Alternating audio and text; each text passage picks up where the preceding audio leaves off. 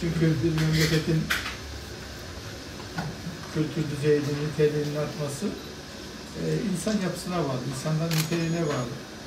Dolayısıyla sizlerin e, gerçekten bu manada erdemimize katkılar güzel kentlerden bir tanesi. Erdemimizi inşallah asıl güzel kılan, mükemmel kılan sizler gibi e, nitelikli insanlar. Daha da çoğaltıp hep birlikte yaşa, yaşayacağız. Çünkü biz burada e, belli bir tasla var. Var olan taslayı bizi e, kalıcı kılmak adına e, bir birlikte tasla yapmak. Sizlerin var en azından bu kentin 50 yıllık ihtiyacını karşılıyor. Yoksa e, 100 yıllık ihtiyacını karşılayabileceğini düşünüyorum.